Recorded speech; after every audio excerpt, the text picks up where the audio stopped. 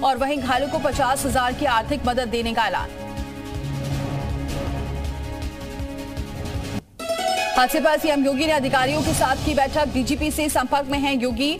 CM योगी ने जिम्मेदार लोगों के खिलाफ कार्रवाई के दिए निर्देश। कहा, नहीं बचेंगे दोषी।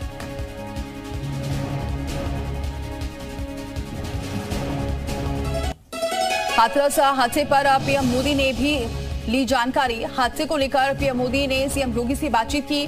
घायलों के बेहतर इलाज के निर्देश दिए। पीएम ने हादसे पर जताया दुख।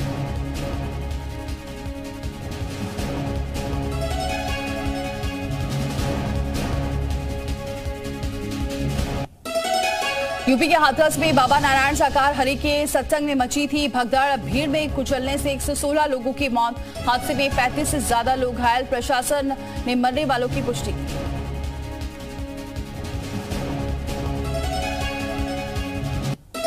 हादसे को लेकर इलाहाबाद हाईकोर्ट को लिखी गई चिट्ठी।